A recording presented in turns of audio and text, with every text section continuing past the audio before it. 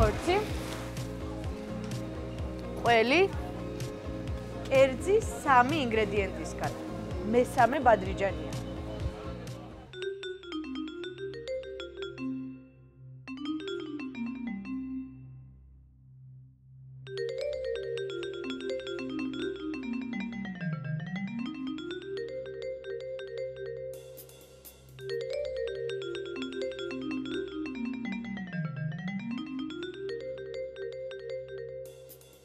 გამომცხვარი ბადრიჯანი ხორცით და ყველით. იდეალური კერძი იმისთვის, რომ მოამზადოთ ქალაგარეთ თქვენი მეგობრებისთვის. დავიწყეთ. საშუალო ზომის ბადრიჯანი დაგჭირდება. აქ მაქვს სამი ცალი. აჰა. შევეცადოთ, რომ თანაბარ ზომებად დავჭრათ.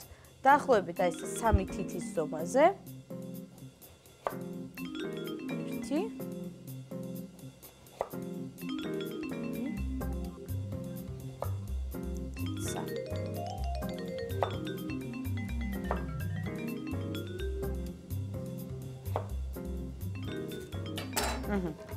ამოვჭრათ გული, ოღონდ ბოლომდე არ უნდა ჩავჭრათ, რადგან ძირი დაგჭირდება. აი ესე ნახევარზე ოდნავ მეტად ჩავიდეთ. ისე რომ რაც უფრო მეტი ხორცი ჩავა, უფრო გემრიელი და წვნიანი გამოვა. ერთი მზად არის. აი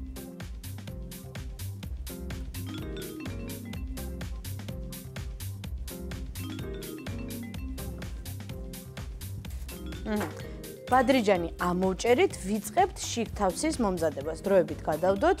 აქ მაქვს ხორცი. გადმოვიტანოთ ცოტა განიერ ჯამში. 300 გრამი ხორცი. ნახევარი თავი ხახვი. წვრილად დავჭრათ. დავუმატოთ ხორცს. წვანე ხახვი. ესეც მაქსიმალურად წვრილად.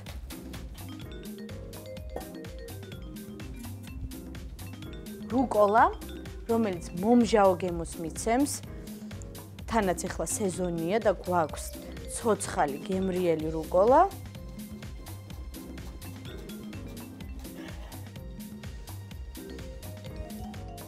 მარილი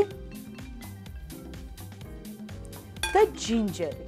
რომელიც უფრო სიცხარეს მიცემს, ჯინჯერს ძალიან ისეთი მძაფრი არომატი აქვს. კიდე უფრო გაახალისებს, ასე ვთქვათ, შიგთავსის გემოს. დავუმატოთ ჯინჯერი.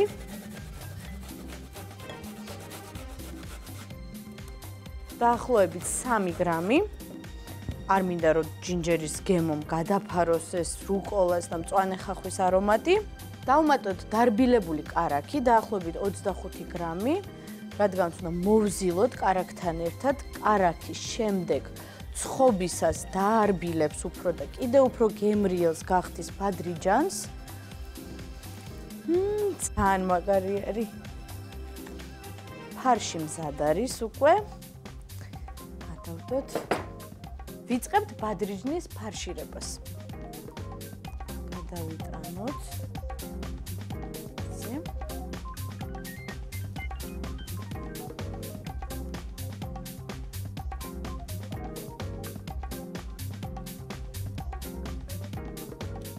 ესეც ბოლო.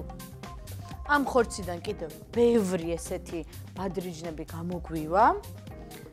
საკმაოდ ცოტა ჭირდება დაახლოებით 5-10 გრამი. გავხეხოთ ყველი.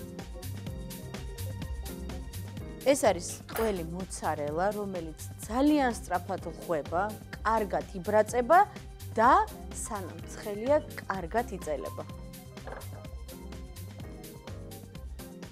ხეხავ დაახლოებით 80 გრამ მოცარელას, რომელიც ეყოფა 8 ცალ ესეთი საშუალო ზომის ფარშირებულ ბადრიჯანს. ავიღოთ ცოტა.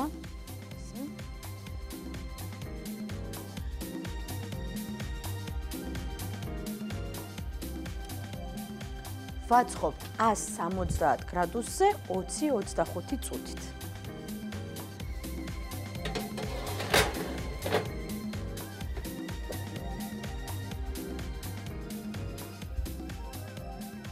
სანამ ბადრიჯანი წხვება, მოვამზადოთ соуსი.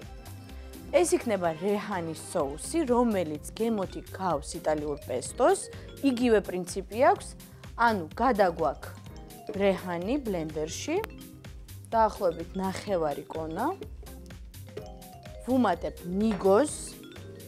აქ არის 60 გრამი ნიგოზი და 70 მილილიტრი ზეითუნის ზეთი.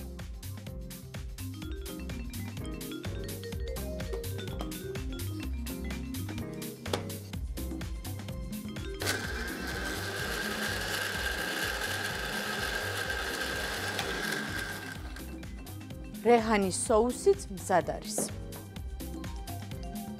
ძალიან გემრიელი სუნი აქვს. მით უმეტეს ახლა სეზონი არის და რეჰანის ძალიან მძაფრი არომატი აქვს. ძალიან მოუხდება ბადრიჯანს და ყველს.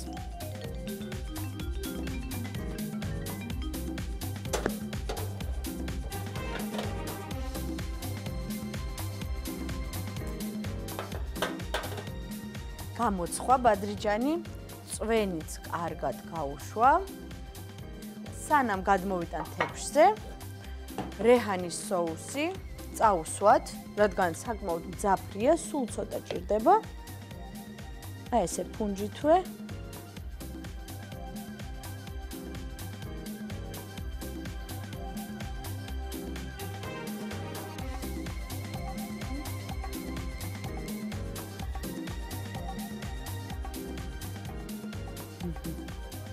ესეც ბოლო. ძალიან ლამაზი გამოვიდა.